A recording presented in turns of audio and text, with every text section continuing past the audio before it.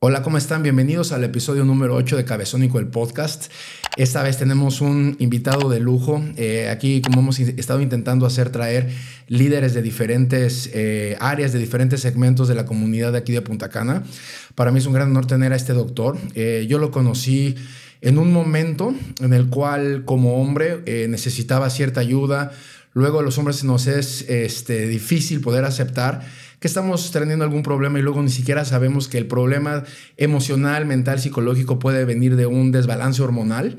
Y pues bueno, a mí me lo, me lo refirieron por cuestiones de que estuve preguntando. Di con él y pues fue una gran conexión, me echó la mano, eh, logramos un sistema, me ayudó y platicando con él y, para mí también, aparte de ser un gran doctor, es un gran comunicador, fue... Eh, fui y salí como con un masterclass de lo que viene siendo el tema de reemplazo hormonal, el, tema de, medicina de dolor, el tema de anabólicos esteroides. Entonces, pues eh, él aceptó con un gran gusto la, la invitación a venir aquí al podcast y sé que esto va a ayudar a muchas personas que tienen dudas eh, sobre despejar los mitos, las verdades, las, las, mentiras de lo que viene siendo este tema, que es un tema controversial, pero bien manejado de la mano de, la mano de alguien y un profesional como lo que es el doctor René Custals, pues puede ser algo muy beneficioso. Doc, bienvenido. ¿Cómo está? Muchísimas gracias. Gracias por la oportunidad de llevar toda esta información a a todo el público. Eh, definitivamente eso lo habíamos conversado. Eh, yo soy una persona muy elocuente y me gusta educar. Claro. Y esto es una gran oportunidad de que la gente aprenda un poquito más y se eliminen ciertos tabúes que hay al respecto del reemplazo hormonal y todo esto. Sí. Pues bueno, Doc, la primera pregunta que yo le quería hacer así para comenzar, eh, ¿qué es a usted lo que, lo que lo motivó en ese momento, en esa juventud, cuando estaba diciendo, a ver, ya soy, soy doctor, ahora me quiero ir para allá, para acá? ¿Qué fue lo que usted lo motivó a tomar este camino? Bueno, eh, yo soy una persona que soy perfeccionista y me gusta estudiar, estudiar, estudiar siempre. O sea, para mí eso no, no hay fin. Ah, y eso me trae felicidad. Por tanto, lo sigo haciendo hasta el día de hoy. Yo empiezo la medicina después de viejo. O sea, yo empecé la medicina a los veintitantos, casi 30 años. Ah. Porque trabajaba en gimnasios. Ok. Y yo veía cuando eso, en los gimnasios no teníamos internet, no teníamos nada de eso. Y lo que veíamos, la información que nos llegaba era por revistas. Ok. Flex, Muscle and Fitness y ese tipo de cosas. Y obviamente por los amigos. ¿Más o menos qué años eran esos? Bueno, era principio de los 90, más o menos 91, 92. Ok, ok. Entonces, ah, nada, yo comienzo a trabajar en gimnasio, comencé a trabajar con el Body Shop, Gold's Gym y muchos otros gimnasios famosos de, de aquí del país. Y eh, había empezado a entrenar desde un tiempo antes, desde teenager, y había experimentado con esteroide, esteroide anabólico en mi persona. Ajá. Eh, ¿Qué me, me, causó curiosidad? Que era más que una ciencia, era un arte. Ajá. Porque tú ibas y eh, el entrenador te decía, no, mira, vete a tal veterinaria eh, y cómprate boldenona o cómprate ganequilo, yo no sé qué, y tú te vas a poner un poquito de esto y un poquito de esto. Y tú, pero un poquito, ¿cuánto, es un poquito? vale. Tú llenas la jeringa hasta... Como si fuera un shot. Sí, como un shot, como que me estaba sirviendo tequila y vamos a, bebernos la tequila. Y aún así, vi resultados en ese momento. Yo decía, bueno, hay algo bueno aquí, pero entonces comenzaron los tabúes y obviamente hay efectos secundarios si, si, tú no tienes un patrón. Claro. Pero no había información. Ah, entrando yo a los gimnasios, hago muchas certificaciones, muchas cosas del ejercicio, del entrenamiento, de dietas, nutrición, suplementación, todo eso, pero me quedo corto. Digo, pero es que, es que no puede ser, esto ocurre, certificaciones de un fin de semana. Ah, eso no tiene sentido. Yo quiero saber un poquito más. O sea, eran como unas clasecitas par de días, toma certificado. Sí, toma, tú eres personal trainer. Ajá. Entonces, eso no me llenaba. Yo decía, yo tengo que buscar un poquito más y empiezo a estudiar medicina. Sí. Y la medicina me trajo una felicidad increíble. O sea, comenzó a llenar esos huecos de esas interrogantes que yo tenía. Mm. Y ese sentimiento yo quise dárselo a las otras personas. Ok. Yo dije, espérate, si ya yo tengo esta información, vamos a, a dársela a las otras personas. Ok. Una de las cosas que yo descubrí, lamentablemente, es que en medicina no se sabe mucho de nutrición. Lo, único de nutrición que se sabe en medicina general es que es una caloría, que es un macronutriente y que son carbohidratos, grasa, alcoholes y proteínas. Muy burdo, muy por encimita. Más nada. Entonces yo digo, pero espérate, yo tengo este conocimiento ya porque estoy cansado de leer. Vamos a unir las dos cosas. Eh, justo hago eso Y comienzo a, a, reunir suficiente información, ya tenía internet, comienzo a buscar información de diferentes fuentes, tenía la habilidad de, de leer estudios, ya sabía cómo hacerlo, y digo, pero déjame empaparme un poquito más de esto y comienzo a, hacer cursos, eh, talleres sobre esteroides anabólicos, ah. sobre farmacología deportiva. Eh, no tanto como enseñanza, porque obviamente ningún entrenador puede estar puyando gente. Claro. Pero para eliminar mitos y para que no se haga lo, lo indebido. Ajá. Porque mi motivación mayor era, señores, aquí hay coaches, entrenadores, aplicándoles esteroides anabólicos a personas sin saber medicina Ajá. y cuando van y le preguntan a los médicos, los médicos le dan la espalda. Entonces, ¿quién se queda con este conocimiento? Nosotros los médicos somos los que deberíamos de manejar esto. Claro. Y yo comienzo a empaparme más y a dar talleres para que la gente sepa, señores. Todo eso fue en Santo Domingo. Eso fue todo en Santo Domingo. Okay. Y le digo, señores, vamos a educar a las personas. Mándenmelo la, eh, si ustedes tienen algún paciente, alguna cosa, que yo los ayudo. No tanto como ciclos, pero más ya como terapia hormonal, como reemplazo hormonal y cositas así. Que vamos a explicar más adelante la diferencia de uno y otro. Claro. Porque hay una gran diferencia entre uso y abuso. Ok. Que ahí es que vienen los problemas. Sí, sí. Entonces... Y la controversia. Y las controversias. Entonces ahí es que yo comienzo a adentrarme en ese mundo y decido, bueno, vamos a trabajar esto a fondo, vamos a trabajar, me certifiqué en reemplazo hormonal, más adelante hice una maestría del dolor también, que lo hice eh, en paralelo porque también me llamaba mucho la atención del dolor porque era un síntoma que muchas veces era muy mal controlado en todos los hospitales, no solamente a nivel nacional, sino a nivel internacional. Ok. Y entonces me dedico a trabajar también la maestría del dolor, ambas cosas en paralelo. Además de mi, de mi práctica primaria, de medicina ¿En, qué momento fue lo que se le destapó a usted la curiosidad de lo que viene siendo la terapia del dolor? O sea, ¿cómo, cómo una cosa viene ligada con la otra? Bueno, yo como, como deportista al fin, no profesional, pero yo probaba de todo, hacía mountain bike, montaba cable, hacía Ah, todo. Ajá. Me lesioné mucho y yo Ah. tengo tres hernias lumbares, creo que cuatro. Cuatro hernias lumbares, sufro de dolores crónicos, sufro de artritis psoriática también. Ajá. Entonces yo experimento de primera mano el dolor y, y- y lo entiendo muy bien. Sí, sí. Entonces en los gimnasios siempre habían lesiones, habían cosas y me preguntaban. Entonces yo veía muchas veces que los médicos le daban un acetaminofén o le daban un ibuprofeno y ya, punto. Y ya para dormir, su Sí. lechita y a dormir. Y yo decía, no, pero esto no es suficiente. Sí, sí, sí. Entonces también veía que en rehabilitación, en el área de rehabilitación, muchos pacientes estaban adoloridos y a veces abandonaban la terapia Ajá. por el dolor.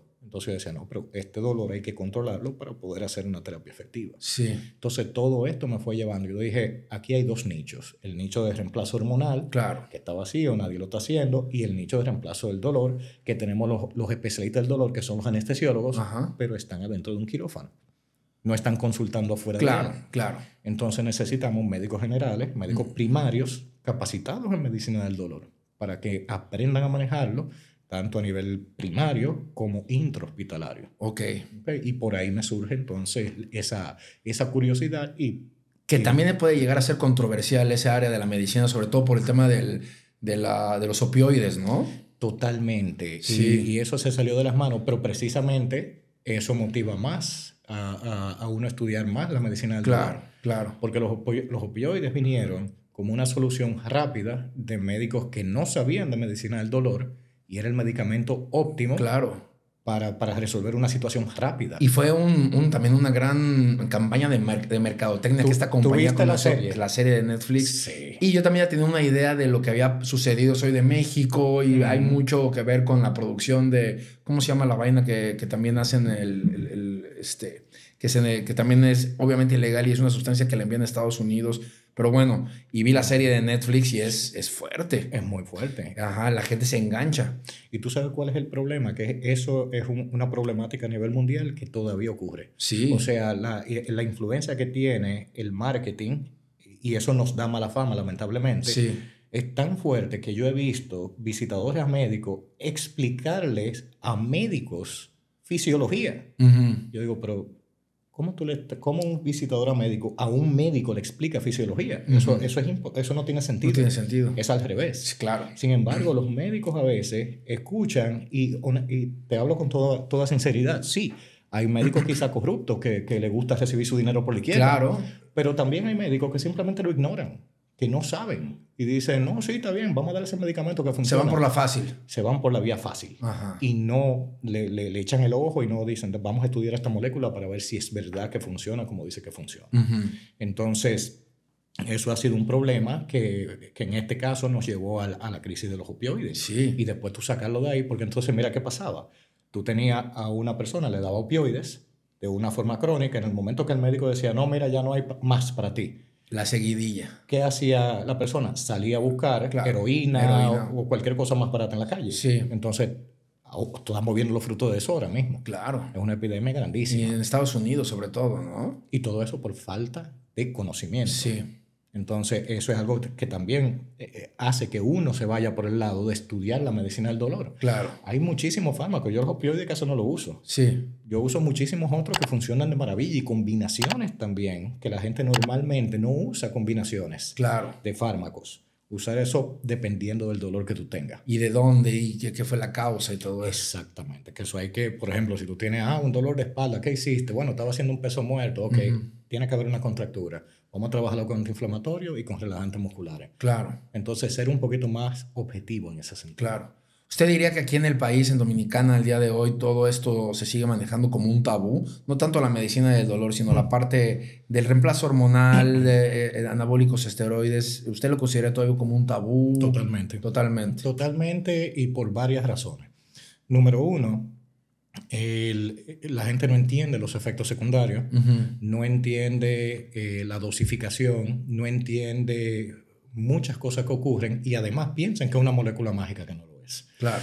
La gente a veces piensa que, ah, no, si yo me pongo esto, yo voy a romper todos los los récords mundiales. Sí. Eso no funciona así. O sea, yo me sentí muy mal cuando vi que a Lance Armstrong le quitaron los, cinco, los siete Tours de Francia. Sí. creo, siete Tours de Francia.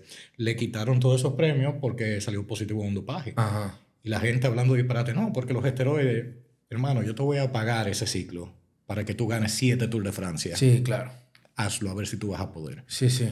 No funciona así. Claro. Entonces, por ese lado está ese tabú. Piensan que es una, una molécula mágica y al mismo tiempo tiene muchísimo efecto negativo, que obviamente su abuso te lleva a efectos negativos. Claro.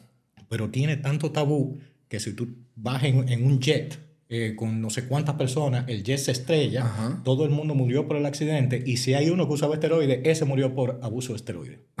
Entonces tú dices, viejo, Sí, o sí, sea, sí, sí, sí, no sí, funciona así. Sí. Entonces, mi trabajo, mi labor como profesional es, número uno, establecer el límite. O sea, ¿puedo hacer un reemplazo? Sí, un reemplazo está bien. Estos son los riesgos. Eh, ¿Puedo usar un ciclo de 2 gramos de testosterona por semana? No, viejo, eso te va a traer problemas. ¿Nos puede explicar qué es exactamente los, los anabólicos esteroides? Así, un- un- una explicación para que la persona promedio que estés viendo, escuchando esto, pueda entenderlo, porque estoy seguro la gran mayoría no sabemos hasta, Sí. hasta que nos lo explican. Bueno, todo el mundo lo conoce, la puya. La puya, Sí, el puyo, todo el mundo conoce la Ah. puya. En México le dicen el chocho. El chocho. El eh, chocho, no, ya me voy a chochar. Y eso lo vende el mercado negro. sí. Entonces, bueno, eh, esteroides anabólicos androgénicos, como es el nombre correcto de ese grupo de medicamentos, es un grupo de fármacos que son derivados de la testosterona. No todos son iguales a la testosterona. Está la testosterona y después hay muchísimo el DECA, el Winstrol, hay muchísimos otros. Pero son derivados de la testosterona. Son derivados de... Una testo- testosterona sintética. Sí, correcto. Ajá. Y aún sean, eh, aunque sean creados ah, más o menos en similitud, a veces hay algunos que son totalmente diferentes la molécula, pero hacen más o menos lo mismo. Y, pero- y la testosterona es una hormona que el, que el cuerpo genera, ¿correcto? Es la hormona paterna del hombre. la hormona paterna así. del hombre. Y de la mujer también, ¿no? Porque también El mínimo. mínimo, ajá. En el caso de la mujer es el estrógeno. El estrógeno, ajá. Entonces la mujer tiene más estrógeno, Ajá. menos testosterona, nosotros tenemos más testosterona, menos, Menos estrógeno. estrógeno, correcto. Entonces la testosterona es la que se encarga de darnos los caracteres masculinos. Ok.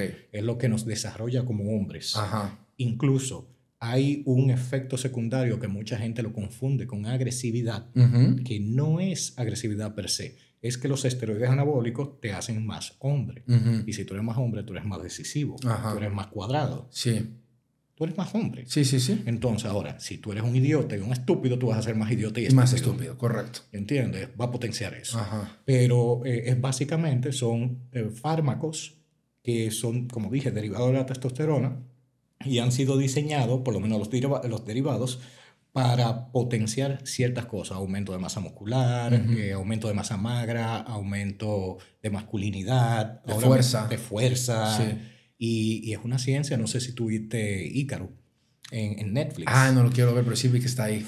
Ahí tú te vas a dar cuenta de la competencia que hay entre la ciencia de los esteroides y la ciencia del dopaje, como tienen una competencia constante. Sí, sí, sí. A ver, sí, a ver quién gana. a ver a quién cachan menos y a quién cachan más. Y, y al final casi todos los atletas están dopados. Es lo que dicen. Sí, totalmente. Entonces, básicamente comienzan a desarrollarse todos esos esteroides. Eh, por ejemplo, ah, mira, este esteroide eh, me gustaría utilizarlo, pero retiene mucho líquido y yo quiero que mi atleta haga artes marciales mixtas. Sí. Ah, no, pues mira, vamos a modificar esta molécula y vamos a crear el, no sé, el masterón, el alotestín, la fluximesterona.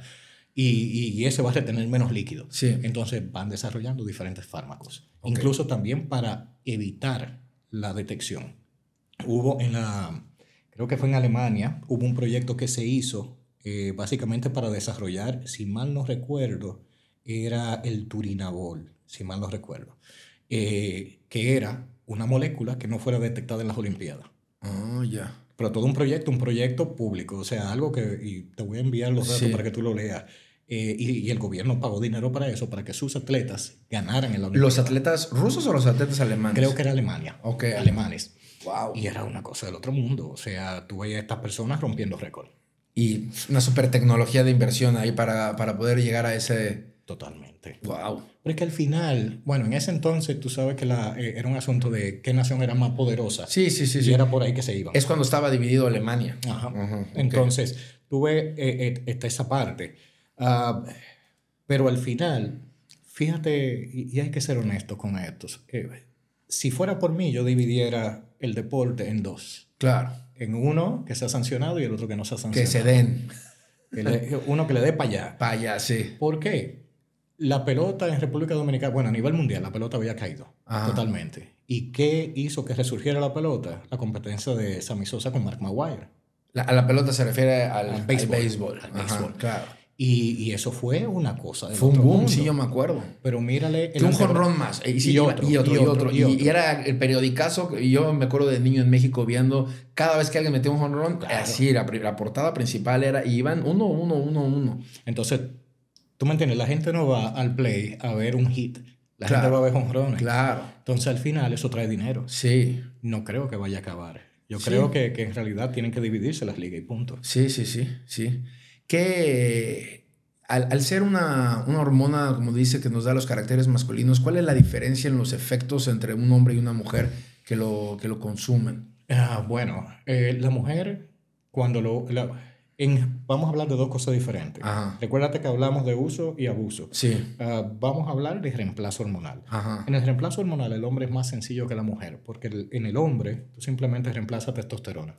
Un reemplazo hormonal es cuando un hombre necesita qué? Testosterona. Testo eh, porque llega una edad y, y, dejan a bajar los a bajar, ajá. Incluso la mayoría de, de, de, hombres que dicen que andan con depresión por ahí, estado de ánimo bajo, Sí. lívido, es problema de testosterona. Mm. Y cuando tú le mides la testosterona, tú le das un rango bajito. Ajá. Entonces, el reemplazo es para solucionar ese problema. Ok. El ciclo es Ajá. cuando yo me quiero poner más fuerte y yo uso una dosis suprafisiológica Ok. más alto de lo normal Ah, para yo obtener cierto físico o competir mejor. Entonces el reemplazo hormonal lleva los niveles a unos niveles eh, Óptimos. y te quedas ahí y es un tratamiento que puedes usarlo toda la vida. De por vida. De Exacto. por vida. Incluso ahí entra un detalle muy importante que la gente no entiende.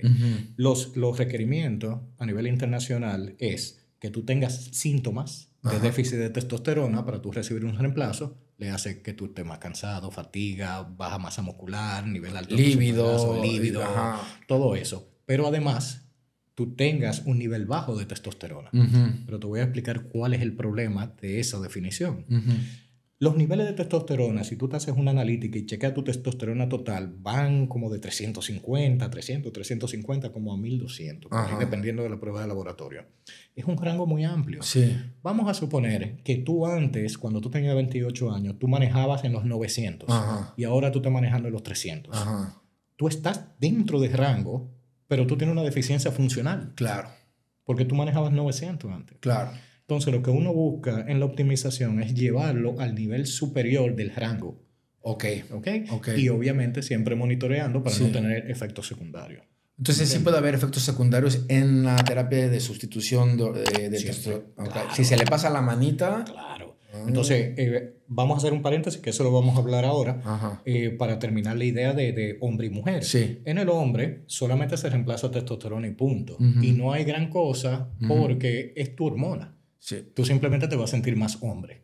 Pero en el caso de la mujer, cuando tú haces un reemplazo a ese nivel, así de, de un, una terapia de reemplazo hormonal, no es reemplazar una hormona, tú tienes que hacer un balance.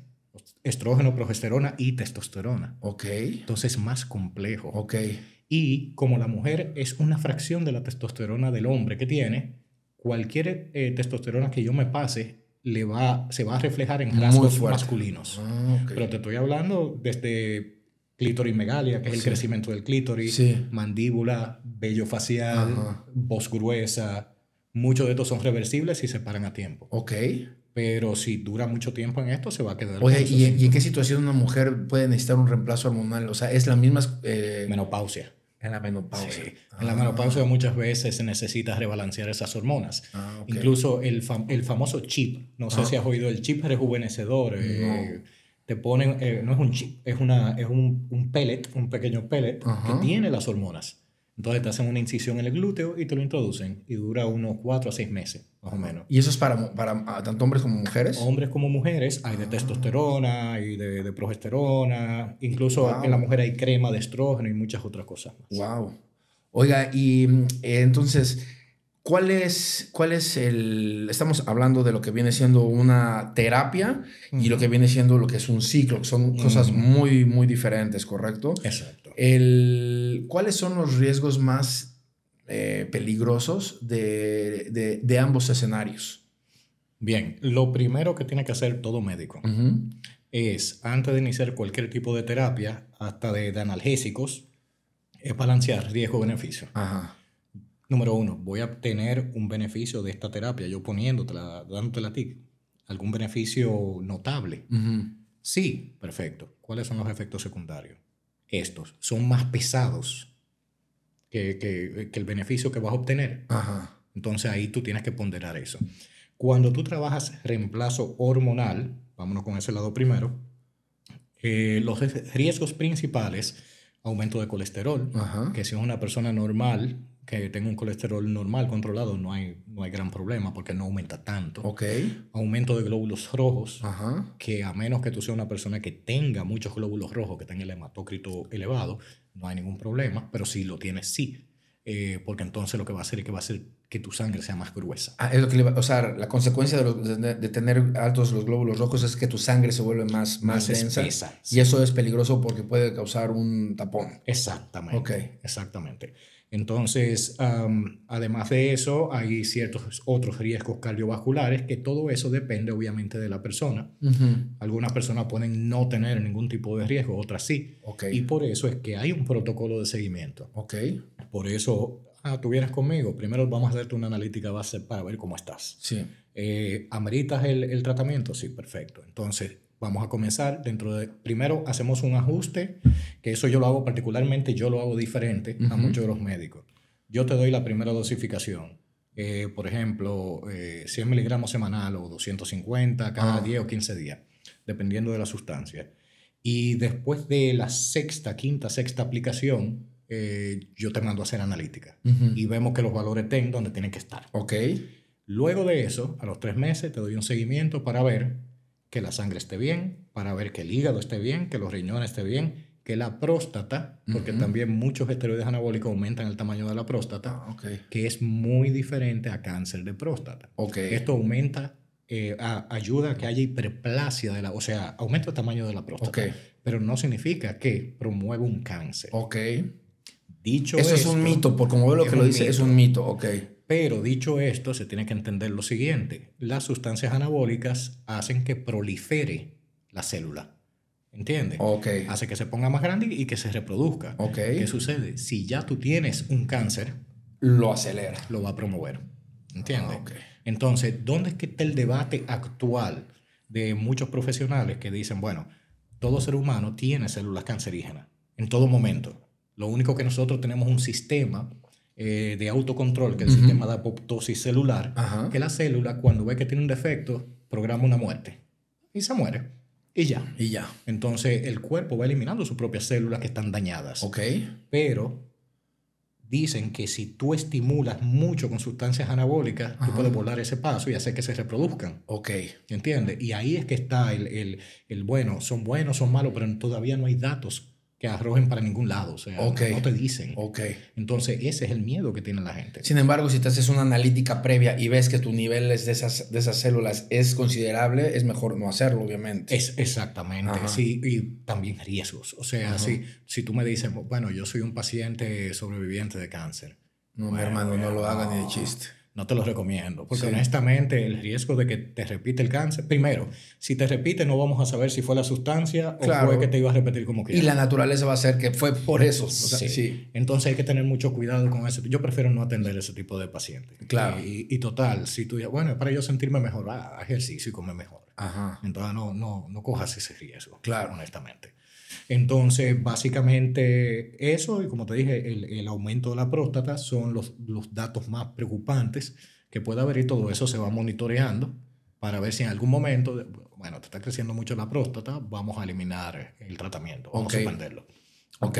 Si llega ese momento. Oiga, yo, no sé si sea mi percepción o, no, o qué, pero creo que, por ejemplo, lo he visto aquí y también lo he visto en México y lo, lo utilizan mucho en las farmacias, eh, que en los lugares turísticos como Cancún, Punta Cana, en las farmacias, de hecho en los puertos donde llegan los cruceros, donde llegan los turistas gringos, eh, promocionan mucho eh, estas, estas sustancias.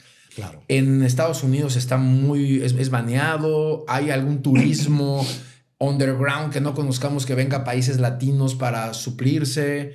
Eh, ¿Cómo se maneja eso? Mira, la sustancia, las sustancias en Estados Unidos son altamente reguladas tanto así que solamente pueden ser indicadas por un médico. Sí. Solamente. El reemplazo hormonal es solo un médico. no puedes ir a la farmacia y comprar testosterona. Sí. Eh, aquí en República Dominicana la farmacia trabaja diferente.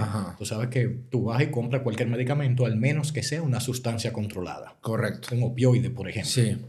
Que tú necesitas un certificado de control de droga, una receta especial. en el caso de, de los esteroides anabólicos son de venta libre. Ajá. Incluso te voy a decir que la primera vez que yo probé un esteroide anabólico fue el esteroide más potente o uno de los más potentes orales que hay. Oral. Que es la metandrostenolona, el famoso, eh, bueno, Dianabol o el famoso Anabolex. Ok. El Anabolex yo lo probé a los nueve años. ¿A los nueve años? ¿Por qué? Porque mi abuela me llevó al médico, estaba flaquito y el médico, tómate esa pastilla para que engordes. ¿Y qué le pasó? No, engordé y comía, y comía como cosa loca. como Bam Bam de, de los Picapiedras, ¿no? Levantando niños. De una vez comía. Entonces, eh, o sea que en ese sentido tú puedes ir a la farmacia y comprarlo. Tú puedes ir a comprar, eh, por ejemplo, eh, el famoso Sostenón, que es un blend de testosterona que se usa en el reemplazo hormonal, lo puedes comprar. hay otro también, el Nevido, también, que es un gramo de testosterona en un vial. Ajá que eh, es un decanoato de testosterona que alegan, digo alegan porque no creo en esa, en esa dosificación, alegan que tú te lo puedes aplicar cada eh, tres meses, cada cuatro meses, pero no, no coincide en la vida media con lo que ellos dicen. Ok. Eh, y es, más, es más marketing. Es más marketing. Sí. Y, y, realmente creo que, que hasta nocivo es porque es un gramo de testosterona que tú te estás poniendo de un fuetazo. Entonces, aunque sea de absorción lenta, es un cambio muy drástico que estás teniendo. Teniendo en consideración que uno empiece con 100 o 250. Claro. Eso es cuatro veces eso. Sí. Eh, entonces, tú puedes conseguirlo. En México, bueno, y eso es sin hablar en el mercado negro. Ok. En el mercado negro lo puedes encontrar y el problema mayor que tenemos en el mercado negro es la falta de regularización. claro. O sea, tú no sabes si lo que te están vendiendo es, eso. Es eso. Además, si está mal empacado, si tiene eh, alguna bacteria, tú no lo sabes. ¿Cuáles son los mejores laboratorios que fabrican eso? ¿En dónde están? ¿En, en qué país? Eh, bueno, es que eh, te, lo voy a decir, pero no, no quiero que la gente se lleve de eso. Porque también es de los sitios donde más falsificaciones se hacen que la India. Claro. En la India, por ejemplo, tenemos la Tiger. La marca Tiger para mí es muy buena. Tenemos la Alfa Pharma, que es muy buena. También hindú. También son de la India, todos son, esos dos son de la India. eh, y a- aquí aparece en el mercado negro, eso Ajá. se puede encontrar. Me gusta que eh, son ampollas, Sí. que son más difíciles de, de, de- Porque, por ejemplo, De piratear. un, frasqui- un frasquito, yo te mando a buscar por eBay el frasquito, el sellador y toda la cosa, y yo Todo. te lo hago en mi casa. Sí, sí, sí. Pero una ampolla es un poquito más difícil. Ujú. Además de, ¿qué es lo que uno tiene que buscar cuando uno habla de esteroides anabólicos? Tú sabes que hay competencias en las cuales se acepta. Sí, Por ejemplo, el bodybuilding. claro, claro. la mayoría de las competencias de bodybuilding, eso no es sancionado. Pueden Open. usarlo. Sí, sí, sí. Esos tipos invierten mucho Sí. en eso. Y ellos confían en ciertas casas farmacéuticas que fabrican esos productos. No es legal, pero se lo fabrican a ellos. Claro. Entonces, esas casas, aunque no son 100% legal, tú dices, bueno, te dan cierta confianza porque eso es lo que está patrocinando fulano. Ok. ¿Ok? Que, que su vida depende de eso. Claro. Es igual, eh, lo mismo hacíamos nosotros antes en la veterinaria. Ajá. Nosotros decíamos, bueno, si esta veterinaria le vende a, a caballos de competencia, eh, podemos Sí. confiar, podemos confiar en, ese, Claro. en ese fármaco. Esos caballos valen pila, ¿no? Sí, porque vale mucho dinero y no lo van a sacrificar. O- o- oiga, Eh. oiga, Doc, ¿y hay, hay algún uso médico eh, que se le da a los ciclos, no al reemplazo, sino a los ciclos de, de- de esteroides? ¿Hay algún uso médico que se le, ten- que se le pueda dar? Sí. Bueno, ahí sería algo intermedio, no sería ni ciclo ni sería tampoco eh, reemplazo, Ajá. porque es una dosificación menor, y, pero no es permanente como el reemplazo. Y es, eh, incluso si tú vas a la farmacia, tú puedes encontrar DECA. Ajá. El DECA es muy bueno para pacientes quemados. Eh, ¿Pacientes quemados? Quemados. Eh, ¿Quemados de Sí, quemados. Pacientes quemados ¿sí? porque ayudan en la regeneración tisular. Ah. Eh, también en pacientes caquéticos, pacientes que son, están emaciados por, por desnutrición. ok. Eh, por ejemplo, eh, síndrome de inmunodeficiencia adquirida, estos pacientes que están todos deteriorados, Ajá. Da muy buenos resultados el DECA porque aumenta considerablemente, hace lo que se llama un balance de nitrógeno positivo Ajá. y produce una mayor captación de nutrientes. O sea que hasta comiendo poco comienza a, absorber más. Ah, Y eso le, le puede devolver la vida, Claro. la calidad de vida a una persona Ok. que, que está en ese sentido. O sea, no es un ciclo per se, pero utilizan esas sustancias que normalmente se utilizan en un ciclo para esos Para esos beneficios. fines. Ok. Y esos son los fines médicos, por eso Ok. está en la farmacia. Ok. Eh, además de, obviamente, de por, el, por el reemplazo hormonal. Ok, ok. Hay, hay, bueno, hay muchos mitos que hay sobre esto, pero hay ciertos mitos ah, que sean famosos, esos mitos que a usted le gustaría aclarar sobre este tipo de sustancias. Hay muchos. O sea, dentro de los primeros que yo quiero aclarar es, eh, eso no te va a hacer Superman. Ajá, Eso es lo primero que te, te, tienes que quitar de la cabeza. sí, Eh, si, donde me vienen muchos muchachos jóvenes, ajá, eh, mira que yo quiero hacer tal cosa. Viejo, ¿cuánto tiempo tú tienes entrenando? No, seis meses. Olvídate de eso, mira. Ujú. Vete a tu gimnasio. Ujú. Entrena consistentemente por dos años. Ujú. Come como tienes que, que comer. Y olvídate, eso te va a garantizar eh, Sí. más del 50% de lo que tú andas buscando. Y si aún así tú quieres, entonces ya, bueno, está bien. Si tú, tú haces tu reemplazo, haces tu ciclo, haces todo lo que tú quieras. Pero honestamente, la gran mayoría eh, no vuelve. No vuelve. Porque realmente lo que quieren es un, un atajo. Sí. Y, y no funciona así al Claro. final. Yo conozco mucha gente que ha hecho ciclos, se pone, ah, comienza a coger su cuerpecito, su cosa, y de repente lo dejan y vuelven para atrás. Claro. ¿Por qué? Porque no tenían un hábito. ¿Hay algún rebote? Puede haberlo, en especial si tú lo hiciste así. Ajá. ¿Por qué? ¿En, en Porque espe- en especial sí que? si lo hiciste así, si lo hiciste, no, yo no tengo un hábito, pero voy a empezar ahora a hacer ejercicio. Sí. Y quiero de una vez hacer un ciclo. Sí. Y quiero ponerme mi testosterona y, y voy a comer así. Y lo hacen durante seis meses, mejoran, pero cuando ya terminan, vuelven para atrás otra vez. Claro. Entonces no tiene sentido. Sí. Ahora, algo sí te garantizo, la gran mayoría de personas que han mantenido eh, eh, el entrenamiento y que tienen tiempo, En el post ciclo. se quedan, se quedan. Se quedan ahí. Sí, claro, se le queda la masa Ah, muscular y todo y se, y, y se mantienen toda una vida. Sí, sí, sí. Pero el problema es ese, que la gran mayoría que está acudiendo a esto son personas que lo que quieren es el shortcut. Un fast track. Y eso no funciona así. Ya. ¿Entiendes? Al final el cuerpo te la cobra. Ok. Oiga, ¿y cuáles, cuáles pudieran ser uno de los efectos secundarios de personas que utilizan varios ciclos a lo largo de su vida? Mira, hay los mismos, sí, los mismos efectos secundarios que te dije con la terapia, con el reemplazo hormonal. Ajá.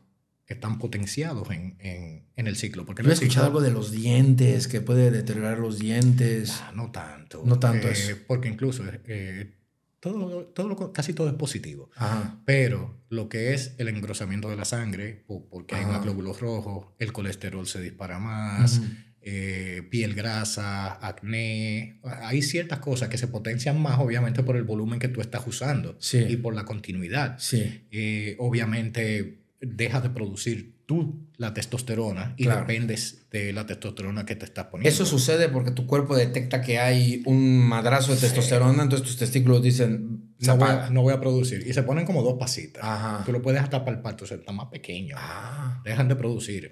Si el, si el, el, el tiempo de exposición no es muy largo, se Ajá. recupera. Sí. En el postciclo tú lo recuperas, eso no Ah. hay ningún problema. Pero si es muy largo, a veces no se recupera. Y se quedan chiquitos. se queda así. Wow. Entonces se queda también tu... Y pro- y si- pero si vuelven a producir testosterona después. Puede que no, puede que se quede bajita. Ah. Entonces por eso, cuando tú haces un reemplazo hormonal, Ajá. tú tienes que estar seguro de que ya te quieres quedar así. ¿Me entiendes? Ah, eso ok. ya es algo de por vida. Ah, con el reemplazo hormonal eso pasa 100%. Sí, eso va a pasar en algún momento. Ok. Porque es algo a largo plazo. En el caso de los ciclos, no. En el caso de los ciclos, si Entiendo. una persona joven, una persona que te recuperas rápido, tú haces un ciclo, tú te recuperas. Ok. Pero cuando tú lo haces mucho, no. ¿Qué pasa con la gente que... Porque me imagino que una edad eh, más o menos promedio en la cual la gente, el hombre puede eh, comenzar a pensar en el reemplazo hormonal es más o menos los 40 años, ¿no? Alrededor de los 40. Sí, correcto. Eh, 40, 41, 42, cuando uno llega más o menos a la edad que yo tengo. ¿Qué pasa si yo quiero comenzar con ese reemplazo hormonal, pero quiero seguir teniendo hijos? ¿Hay la posibilidad de que ya no pase? ¿Qué su- cómo, ¿Cómo se maneja eso? Te voy a decir lo que dicen los textos y te voy a decir lo que dice la práctica. Ajá. Vamos a empezar por la práctica. Yo tengo un amigo, no lo menciono por asuntos profesionales, pero yo sé que a él no le importa que sepan que él ha usado toda su vida esteroides anabólicos. Eh, él tiene dos hijos. Ajá. Tuvo uno, suspendió los anabólicos, tuvo uno, Ajá. y el otro lo tuvo en ciclo, En ciclo, pero en ciclo fuerte. no fuerte. O sea, al final es un esperma lo que uno necesita. Quizá uno tiene más, más- menos probabilidades, Ajá. pero puede ocurrir. Eso no es de que es un anticonceptivo. Ok, ok, Entonces puede ocurrir. Sí. De todos modos, en caso, por ejemplo, que tú me digas, mira, yo es posible que quiera tener hijos, entonces tú puedes, si tú duras menos de un año, quizás, eso no, no hay un número establecido, Ajá. pero puede quizás recuperar algo de esa función. Pero mientras más tiempo dura, menos probabilidades hay. Ah, ok. En, en ambos casos, tanto en el reemplazo como en los ciclos. Como en los ciclos, en todo. Ok. Y, y, y, bueno, la gente, el dominicano tiene un dicho que, que lo que dice es que eh, no hay cosa que para más un pobre. O, o- o sea, eh, eh, de verdad, el quedar embarazada, una mujer no es, no es fácil. Sí, Hay que intentar mucho. sí. ¿Me entiendes? Eh, solamente algunos casos, hay un accidente y Bueno, pasó. aquí, aquí en Dominicana entonces intentan pila. Es que intentan mucho, ese es el problema.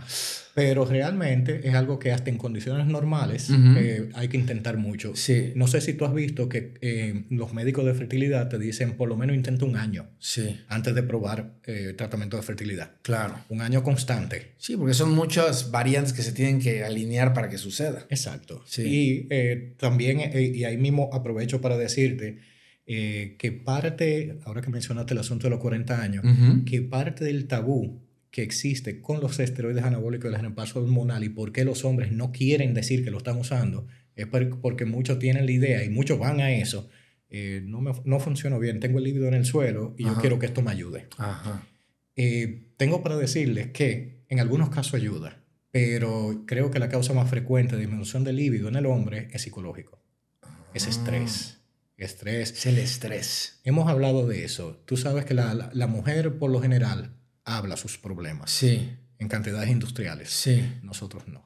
Sí, el hombre está en esta sociedad eh, latina, está uno condicionado a que si hablas tus problemas eres débil. Eres un- una mamita. Ajá, exactamente. Y ni siquiera entre nosotros. Sí, sí, sí. O sea, nosotros nos quedamos callados y tú me dices, tengo problemas en mi casa. Ah, bébete un trago y olvida esa vaina. Correcto. ¿Me entiendes? Pero ahí tenemos que hablar las cosas. Sí. Y, y- y no vamos ni siquiera al psicólogo. A veces tenemos problemas y nos da hasta vergüenza ir al psicólogo. Sí, dice, no, yo estoy, estoy, no, no estoy loco. yo no estoy loco y, y, yo lo puedo resolver yo porque yo soy un machazo y, mi, mi, casa depende de mí, mi, mi hogar depende de mí y yo, yo resuelvo esto. No puedo ser vulnerable. No. Entonces tenemos que quitarnos ese chip. O sea, claro. eso no es simplemente ser vulnerable. Yo tengo un problema psicológico y tengo que resolverlo. Sí. Entonces, eso empeora la situación porque en el momento que tú tienes ansiedad, tienes depresión, tienes inseguridades y esto no te funciona, Ajá. eso te trae más no, inseguridad, sí, claro. te trae más problemas. Sí. Comienza los problemas de pareja, se vuelve un desastre. Sí, sí. Entonces, una de las cosas que quiero que, que, que los hombres entiendan, que número uno, la, el reemplazo hormonal no está diseñado para eso. Ok. Primero. Eso es muy bueno aclarar porque es como en automático un hombre pensaría Piensa en, en eso. eso. Ajá. Eh, puede traer ese efecto secundario, sí, es, eh, lo puede traer porque sí. te aumenta la testosterona. Sí. Pero también he visto los casos de gente que tiene problemas de depresión, problemas de ansiedad, Ajá. usan la testosterona y nada. O sea, no, no, le funciona a nivel sexual. Entonces, para, ¿cuál sería la razón por la cual usar el, el reemplazo hormonal? O sea, si usted dijera, estas son las en lo que te va a ayudar el reemplazo hormonal? Bueno, número uno, estado de ánimo. Estado de ánimo. Yo diría que si ya tú tienes más de 40 años y tú uh -huh. ves que, bueno, mi estado de ánimo está bajo y ya a nivel crónico. Ajá. No es de que, ay, el fin de semana me sentí triste. Ok.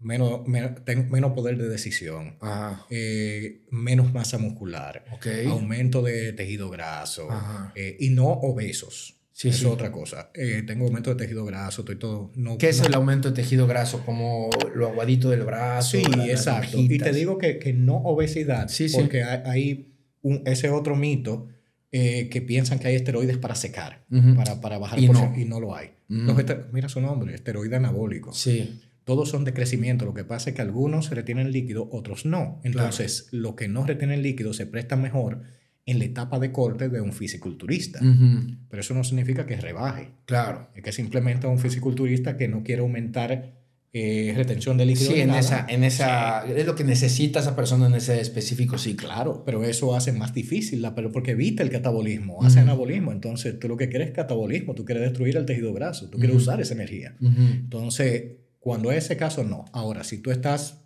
tienes un volumen normal, quizás tienes un poquito de sobrepeso, tienes casi nada de masa muscular, no quieres ir al gimnasio, no quieres entrenar, no quieres hacer nada físico, estás siendo menos hombre. Ok. Tú sabes, porque el hombre es físico. El sí, hombre sí, es una sí. persona que, que por más eh, intelectual o lo que sea, siempre le gusta hacer cosas físicas. No, y ahora eh, tal vez a mucha gente no le vaya a gustar este comentario, pero en la época en la que vivimos, eh, muchas veces es, está hasta ya estigmatizado decir eso, ¿no? El hombre es, es como... No, no, no, ¿cómo crees? Ahora la, la, la, todos somos iguales, pero realmente nah, no, no. No, no somos iguales. Obviamente no. Eso, eso es, y quizás es un tema que debamos de hablar en, en, en, en otro capítulo porque uh -huh. tiene, pero sí, o sea, la descomposición que ha tenido la sexualidad en los últimos años eh, es un tema muy controversial, pero sí. está ocurriendo. Sí. Y los hombres están dejando de ser hombres, que eso no es malo, Ajá. pero están satanizando el ser hombre. Ajá. Viejo, ¿por qué? O sea, yo soy hombre y soy, soy quien soy. Claro. Y es mi sexualidad. Esas son mis hormonas masculinas. Claro, claro, claro. ¿Entiendes? Entonces, bueno, básicamente, básicamente eso.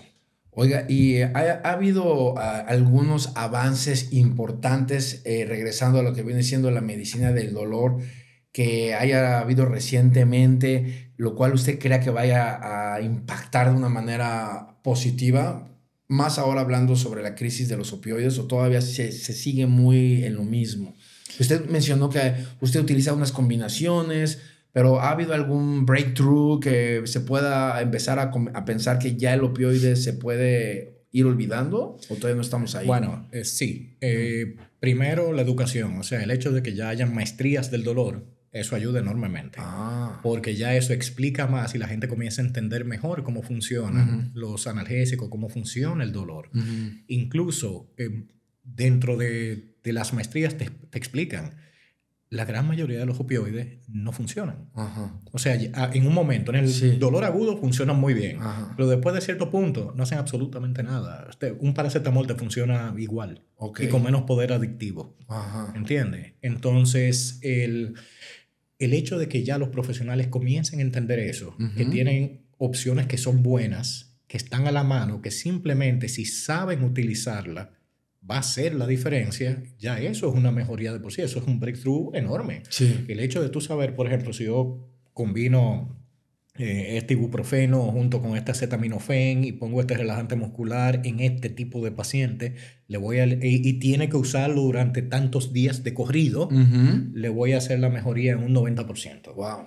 O incluso explicarle al paciente, porque a veces el paciente cree que la mejoría va a ser de un 100% y tú explicarle, hay casos que no, hay casos, mira, eh, tú tienes un 80%, tú tienes un, un 8 de 10 de dolor mi misión va a ser bajártelo a un 4. O sea, vas a seguir teniendo dolor, pero va a ser un 4. Pero va a ser aguantable. Exacto, y ya eso tú lo vas a poder tolerar. ¿no? Perfecto, doctor, no hay problema. Y ahí no hay frustraciones. Claro. Algo que creo que, que tiene que haber un poquito más de control en la venta, que, que no, no, todos los medicamentos sean de venta libre. Sí. O sea, ¿por qué? Porque la gran mayoría, a ti te duele tal cosa, te duele un hombro y tú de una vez vas a la farmacia y compras algo. Ajá. Pero quizá ese medicamento no es el óptimo para ti. Claro. Y ya cuando tú llegas a mí, tú estás totalmente descompensado. Y eso aquí en Dominicana es bastante fácil, ¿verdad? Muy normal. O Muy sea, normal. yo tengo un- una anécdota de una persona en un hospital que me, que me dijo una cosa que yo, eso me abrió los ojos. Que yo estaba atendiendo a una señora y tenía- se había cortado la mano, la suturé y le doy la indicación para el antibiótico. Ujú. Y me dice, pero doctor, ¿usted está seguro que es el antibiótico que yo tengo que tomar? Y yo, Ah. sí, señora, ¿por qué? Dice, no, porque el muchacho del colmado de al lado me dijo que, que el que yo tengo que usar es este. Ajá. Yo le digo, pero el muchacho, pero es, es médico. Me dice, Ajá. no, no, no, el que atiende, el que atiende el colmado, el que vende en el colmado. Ajá. Yo dije, señora, o, o sea, se lo está diciendo un médico. Sí, sí, sí, Usted sí, está dudando de mi palabra y está confiando en, en- en la palabra de una persona que atiende en un colmado. Sí, sí, sí. ¿Entiende? Mientras nosotros tengamos ese tipo de pensamiento, Claro. no vamos a llegar lejos. Sí, Y eso es algo que te, te digo, o sea, no es solamente culpa del paciente, es culpa de nosotros mismos. claro. ¿Por qué? Y ya eso es un tema también que nos podemos sentar a hablarlo más adelante, del por qué hay tantos médicos que no están capacitados que están ejerciendo. ¿Me entiendes? Entonces, ¿qué pasa? El paciente pierde confianza, Sí, deja de confiar en el médico y comienza a ir a otras terapias alternativas, correcto. que muchas veces no son, no son las correctas. Sí, sí, sí. Entonces, eso es muy problemático. Para No, me, me, me, me imagino.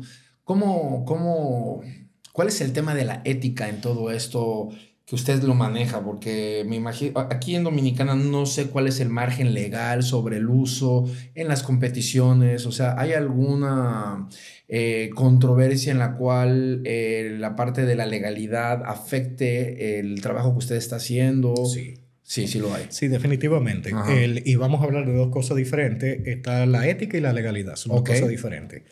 Eh, primero, ¿qué es legal?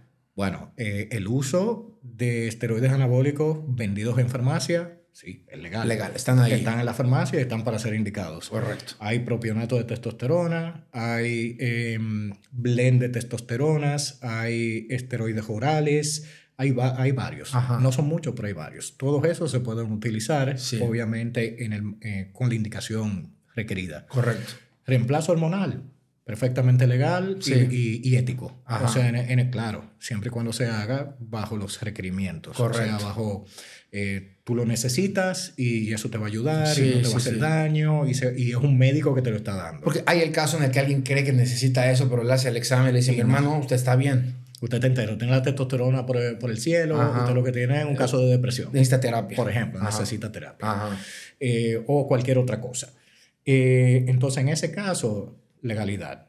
En todos los deportes, eh, no sé en qué, en qué ahora mismo la, la federación aquí de, de fisiculturismo, no sé cuál es su, su punto de vista, pero eh, el- los deportes aquí son sancionados. Son O sea, sancionados. la pelota, todo eso. Ajá. Eh, es ilegal. Es ilegal. El comercio de esteroides es ilegal, la aplicación de esteroides es ilegal. La parte del- de, las competencias de tipo CrossFit, esa, esa se maneja. ¿cómo no se son sancionadas. No son sancionados. Por lo menos si no son las, las pro eh, mundiales. Ajá. Que ya ahí depende, pueden sí evaluarte o no. Pero ya lo que es las competencias más locales, más a nivel latino, eso no. No, eso no, no lo chequean. No lo chequean.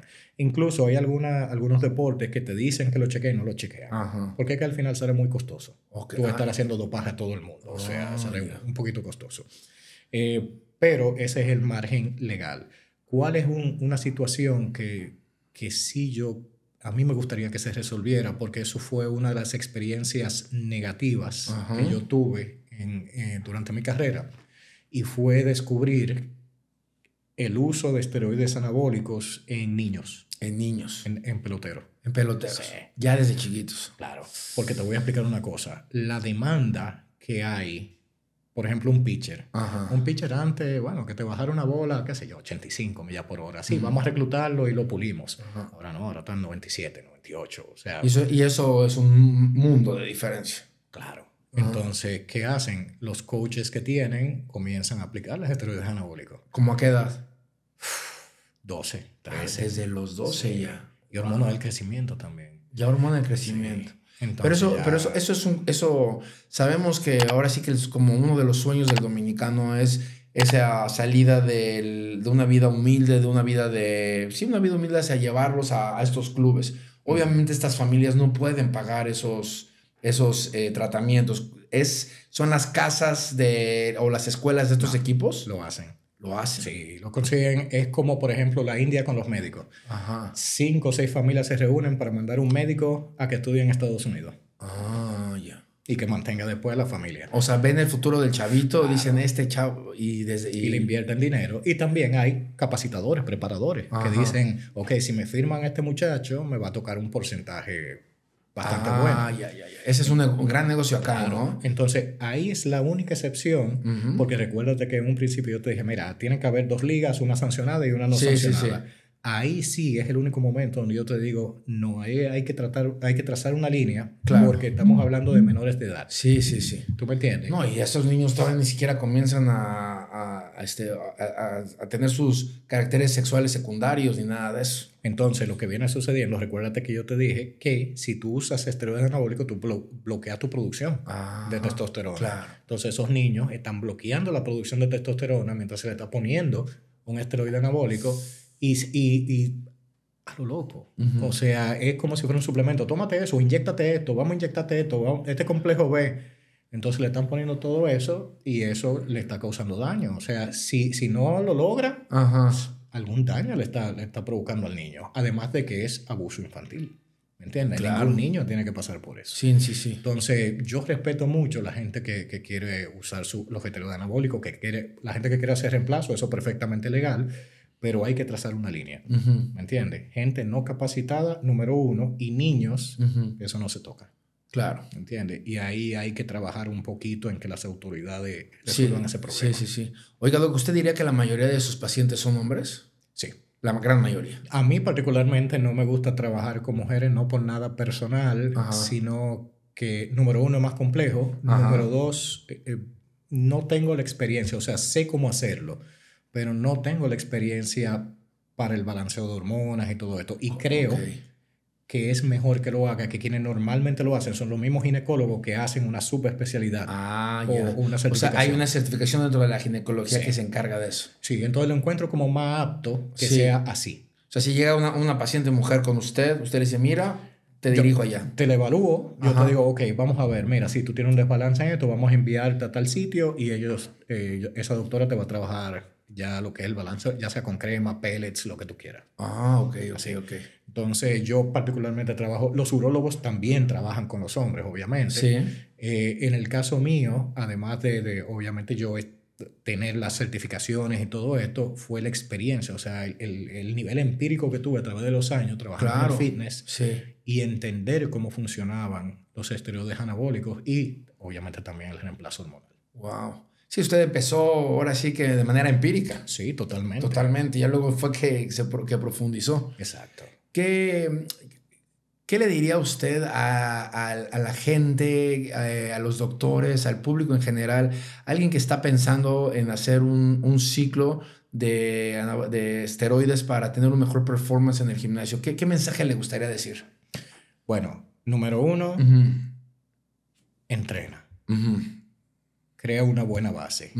Aliméntate bien, también crea una buena base. Suplementate bien, también crea una buena base. Una vez tú tengas un año, dos años y ya tú hayas llegado a tu límite y no progresas, tú puedes quizás considerar eh, el uso de esteroides anabólicos. Pero si lo vas a hacer, confía en una persona que lo sepa hacer y que lo haga con un seguimiento médico, profesional, que no sea algo hecho a lo loco. Sí. y, y la gente sabe, o sea, yo tengo muchos amigos que son entrenadores y los quiero mucho y todo. Hay muchos que son muy buenos y conocen mucho los fármacos y saben muchísimo, pero la gran mayoría no sabe tanto, no sabe lo suficiente para poder, además que de que no es legal, no sabe lo suficiente para entender ciertas cosas que provocan estas sustancias. Claro. Entonces, yo se lo explico a la gente de la siguiente forma. Eh, y vamos a usar el caso de Michael Phelps. Para los que no saben, Michael Phelps, que creo que no son mucha gente, eh, nadador profesional, olímpico. Si tú fueras a, a, competir en natación, ¿con quién tú cogerías clase? ¿Con Michael Phelps o con el coach de Michael, de Michael Phelps? Pues con el coach de Michael Phelps. Entonces, el hecho de que una persona esté fuerte no significa que sepa mucho claro. de fármacos y otras cosas. Sí, sí, tienes razón. Entonces, e, es mejor que busquen asistencia profesional en esos casos.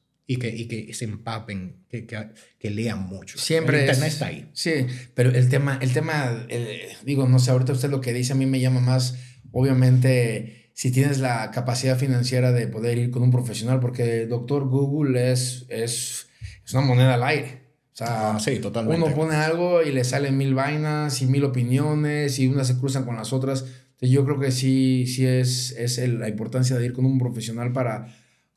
¿Cómo se mide? ¿A qué, qué métricas utiliza usted? Eh, llega alguien, eh, quiero, quiero, quiero eh, probar algo. Hay, ya mencionó usted varios. Está la testosterona, los derivados.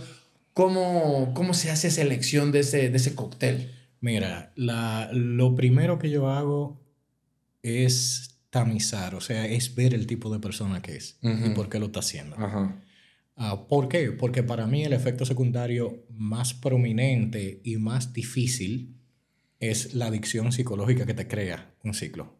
Ah, sí, sí, genera cierta adicción y es psicológica. psicológica. Claro, tú te sientes como un Superman de la noche a la mañana. Claro. Y, y después, cuando tú lo, lo, lo quitas, tú te sientes como una persona normal. Normal. Entonces, ¿qué sucede? Clark Kent, ¿no? Como un Clark Kent, sí. como un Robin. Sí, sí, sí. Nadie quiere ser Robin. No, todo el mundo quiere, ser, Batman. Sí, todo el mundo quiere ser Batman. Entonces, ¿cuál es la, la situación?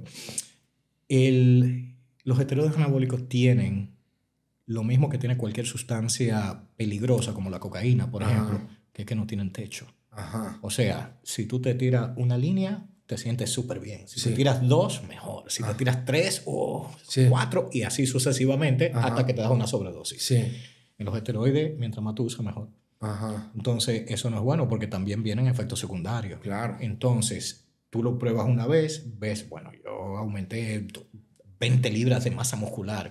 Bueno, si yo duplico la dosis ahora y, y se enganchan. Claro. Entonces, lo primero que yo hago es analizar el tipo de persona que va a hacerse, obviamente, el, eh, el proceso, a utilizar el reemplazo. Y luego analizo su historial para ver qué ha hecho, qué no ha hecho, eh, ver si realmente lo que anda buscando es por esto sí. o no. Sí. Y obviamente las preguntas que te dije ahorita, o sea, tú estás entrenando, tienes mucho tiempo entrenando, ¿cuánto? ¿Tú estás comiendo bien? ¿Qué es lo que tú, tú andas buscando?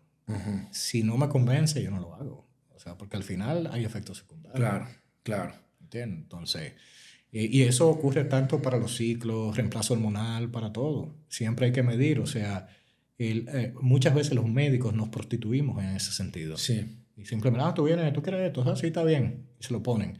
No. Para adelante. No. Sí. Para eso yo tengo criterios. O sea, en la universidad me enseñaron a leer estudios y a tener criterios. Y eso es lo que yo hago. Ok. O sea, tú vas donde mí, yo te digo, sí, tú calificas o no calificas. esta pregunta tal vez está un poquito picosa, pero ¿tuvo usted alguna experiencia en la cual haya tenido un paciente y este paciente haya hecho que usted se haya arrepentido de haberle prestado el servicio? Em, no. No, no realmente. No. Me he decepcionado. Se ha decepcionado. Sí, eso sí, me he decepcionado porque no te voy a decir que me he arrepentido, pero recuerdo una persona que además de ser mi paciente era amigo y es amigo. Sí.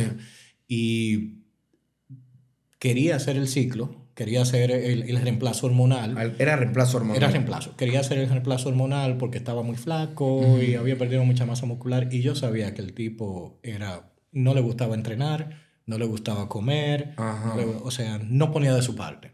No había todo ese background que usted dice que se necesita tener. Y realmente eh, hice una excepción porque era amigo mío. Mm. Y yo dije, no, sí, está bien, vamos, vamos, vamos a probar. Y que va, no, no fue para ningún sitio, nada hizo. Ajá. Y él obviamente también se decepcionó, dijo, no, eso no funciona.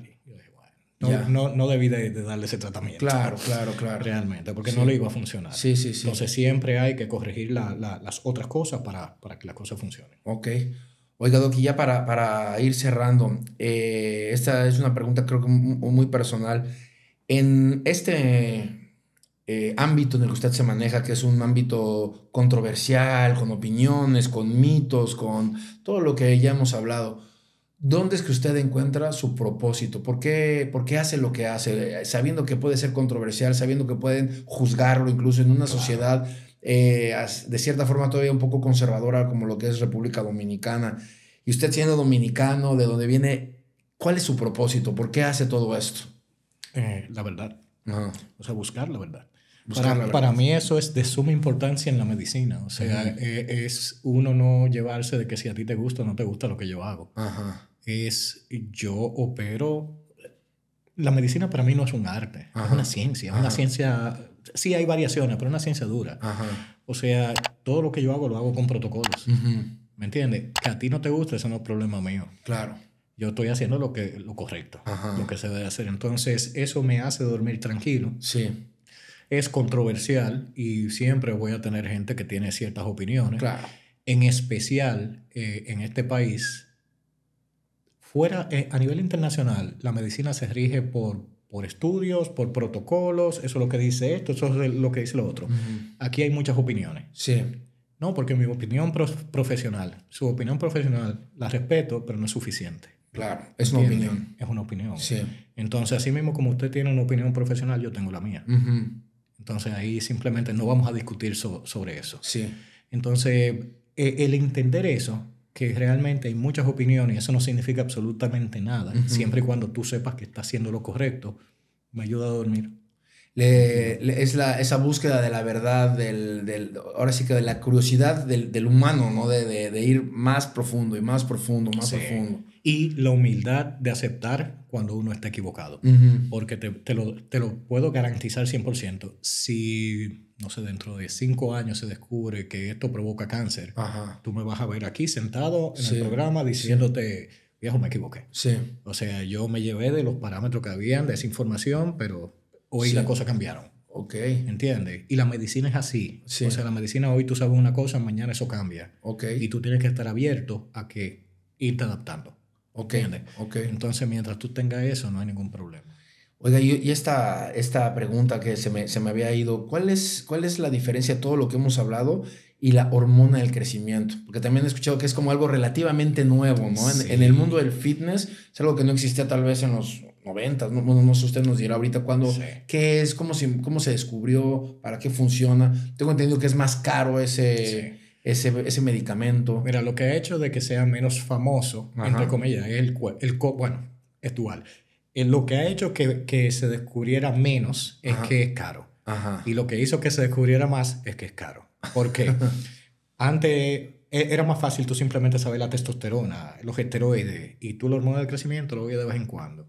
Pero de repente viene, no sé, eh, Sylvester Stallone Ajá. y comienza a usar hormona del crecimiento. Sí. Es porque cara que la usa él. Sí, sí, y sí, se, claro. hizo, se hizo famoso. eh, Claro, sí. Yo quiero Rico y famoso, ese lo usa. Entonces, eh, no, eso tiene que tener algo bueno. Sí, sí. Entonces, la hormona del crecimiento es básicamente, se sintetiza a partir de la, es sintetizada a partir de la, de, de la estructura de la, que nosotros producimos. Ujú. Y tiene ciertos efectos. Ta- Todavía eso está bajo estudio. Hay gente que dicen que no, hay estudios que dicen que sí, que no se ha demostrado nada, que aumenta la sensibilidad, eh, que disminuye la sensibilidad a la insulina, que puede provocar diabetes, muchísimas cosas. Ujú. Pero en la práctica es increíble el cambio que causa en personas. Ah, sí. Entonces, eh, ¿cuál es, o sea, por qué están surgiendo tantas opiniones diferentes? Porque, ¿qué sucede? La, donde más tú ves el uso de, de, de hormona del crecimiento es en bodybuilding. En el bodybuilding. Pero en el bodybuilding te usan de 10 a 12 unidades internacionales diarias. Ajá. La dosis anti-aging es de 2 a 4 unidades. Ah, Entonces, claro, si yo comienzo a ver la gente que se está poniendo de día 12 y veo que tienen problemas, Ajá. Ah, ah, eso es la hormona del crecimiento. No, esa es la sobredosis de hormona del crecimiento. Claro. Realmente con el uso de 2 a 4 unidades, los efectos son muy positivos eh, a nivel de disminución del porcentaje de grasa, mejoría de la masa muscular, mejoría O sea, de la con piel, eso sí, con eso sí existe la disminución de, la- de grasa. Con Sí, esa, ay- ayuda, esa sí. ayuda. Pero igual, tú tienes que tener buen estilo de vida, Sí, tú claro. tienes que hacer ejercicio, comer bien, Sí, todo, sí, sí, sí. obviamente. Y tiene un problema que además de ser costosa, tú tienes que usarlo por un tiempo prolongado. Tú tienes que usarlo cuatro meses, cinco meses, seis Ok, meses, ok. diario. Diario, un, un shotcito. un chocito, un lapicito tipo insulina. Ajá. Hay otros que vienen que tú lo sacas con una jeringa, pero me gusta más el Sí. lapicito. Ajá. Tú te lo pones y ya, punto. Eh, entonces, no es como la testosterona que tú lo ves de inmediato. Sí. El efecto que prácticamente en una semana tú dices, "Ay, me siento más fuerte, me siento más viril. Eh, eh, te dura un tiempecito. Pero cuando tú empiezas a ver lo que pega, tú dices, uff. Y la gente comienza a notarlo. Sí, sí, sí. Lo hemos visto. O sea, Sí, sí, yo me quedo con la boca abierta yo digo, yo mismo todavía me quedo maravillado de mucha gente que lo está usando y digo, Dios mío, pero tú has cambiado, tú te ves mucho más joven. tú te ves Claro, bien". claro, claro, claro. ¿Entiendes? Pero ahí eso es de las cosas que si tú buscas los estudios, todavía son insuficientes. Son insuficientes Sí, todavía. todavía no hay datos suficientes. Entonces la gente a veces dice, concho, y yo pagar tanto dinero para no saber si va a funcionar. Claro. Pero cuando lo ven en otra persona, dicen, bueno, sí, no le funcionó. Sí, no, sí, claro. Y lo intentan utilizar. Sí. Pero al igual que la testosterona, obviamente eso es algo que tú tienes que seguir con laboratorios para ver que todo esté funcionando bien. Claro, Y que todo esté dos- dosificado apropiadamente. claro. Porque esa es otra. Yo siempre mido, por ejemplo, ah, tratamiento de hormona del crecimiento. Vamos a medir tus valores antes y durante el tratamiento. Sí. Para ver que, que estén valores. ¿Cómo va? Cómo Ajá. va. Y, y eso también me garantiza de que sea una buena hormona del crecimiento la que tú estás usando. Sí, De que no sea algo pirateado. Claro, claro, claro, Falsificado. Eh, y también con la testosterona, por igual, se tienen que medir los valores para ver que esté donde tiene que estar. sí, sí, sí. Siempre. Pues yo creo que aquí eh, lo, que yo- lo que a mí me queda con esta gran plática es, eh, uno debe de ser real, ¿no? Debe ser real consigo mismo y si lo vas a hacer y si tienes ya todas estas características de las cuales las hemos hablado, eres una persona con disciplina, Claro. eres una persona que come obviamente lo mejor posible porque luego uno, o sea, si es fin de semana te puedes echar una cervecita, dos, Sí, un postrecito, también es parte de, pero comer bien, ser disciplinado, ir al gimnasio o cualquiera que sea tu ejercicio y ya tengas un tiempo haciéndolo, si lo vas a hacer y te da la curiosidad, porque también muchas veces es por curiosidad, quieres Sí. ver qué tanto puedes llevar tu cuerpo al límite, puede ser también una cuestión de inseguridad, puede ser una cuestión de ego. La cuestión que te esté pasando por la cabeza es hazlo de la mejor manera posible. Claro. O sea, no, no te vayas por el radiopasillo del baño del gym o que a fulanito te dijo esto. O sea, si ya lo vas a hacer, pues... Y todo este estilo de vida del que hemos estado hablando tiene un costo. No, Claro. no, no, es, no es barato tener un buen estilo de vida. El gimnasio cuesta, la buena comida cuesta. La pechuga de pollo La cuesta. pechuga sí. de pollo cuesta, ¿no? Claro. Sí. O sea, el, el- y también cuesta energía. No, no es fácil despertarte a las 5 de la mañana e irte al gym o acabar de trabajar a las 5 de la tarde todo jodido e irte al gym. No es fácil. O sea, Exacto. todo, todo, todo eso cuesta. Si le, lo vas a hacer, que cueste un poco más, pero estate con la tranquilidad Claro. de que hay un profesional con experiencia y que así como lo hemos visto real y decirte, mi hermano, esto es lo que hay, o sea, sin, sin, darle la vuelta, porque la Mira. gente, la gente necesita eso, muchos, muchos hombres necesitan que te digan, como dicen aquí en Dominicana, ¿qué es lo que? O sea, esto es así, esto es así y esto no es eso. Tú sabes, tú sabes una cosa, que un problema que tienen muchos médicos es que no se abren. Exactamente. Entonces, a veces hasta por su comportamiento juzgan al Sí, paciente. sí, y sí, el paciente no te dice nada. Sí, Sin embargo, tú vas a mi consulta y tú lo dijiste, o sea, tú fuiste y te sentiste cómodo y dijiste, "Va, me gustó la información que me sí, o sea, te abriste con eso. claro. Entonces, un consejo que le doy a los demás profesionales, a los médicos, señores, ábranse tranquilos, escuchen a los pacientes y vean cuáles son sus necesidades Claro, para claro. ver cómo lo podemos ayudar. Porque el paciente al final eh, es, ahora sí que como cliente, vibra al doctor y si, si al- el paciente está algo inseguro de querer abrirse y se, y se da cuenta que con su doctor no puede, No va a pues no, va a llegar a ningún lado. No. Sí. Entonces, ¿qué va a pasar? A ese paciente se va a ir a donde una persona Ujú. que sí lo escuche, que quizás no está Y que calificado. no sepa, exactamente. ¿Entiendes? Ese es el problema. Claro.